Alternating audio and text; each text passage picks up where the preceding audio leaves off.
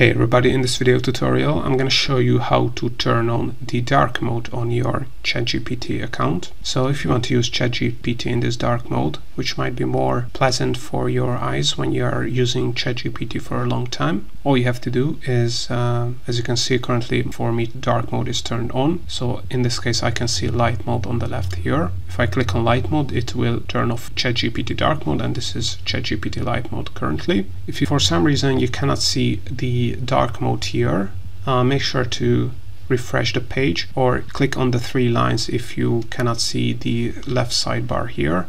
So in this case I refresh my page and as you can see the dark mode is uh, has appeared here and if I click on it I can turn on the ChatGPT dark mode so all in all this is how to turn on the ChatGPT dark mode.